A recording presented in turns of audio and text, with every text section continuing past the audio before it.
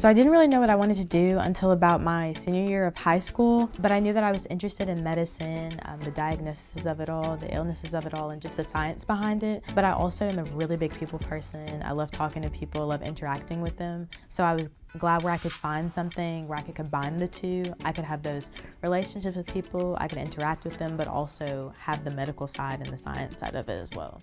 So I came on a tour my senior year of high school and I fell in love with the campus. I wanted something that wasn't super big but also wasn't super small to where I could find something that I enjoyed. And then I later took a tour of the actual School of Nursing building itself and I was also able to meet a lot of the faculty and staff and they were super nice, super inviting and that's something that I definitely look forward to when I go to different places and UAB definitely has that. This journey has been a lot of highs, a lot of lows, but honestly it's been one of the best things I've ever done.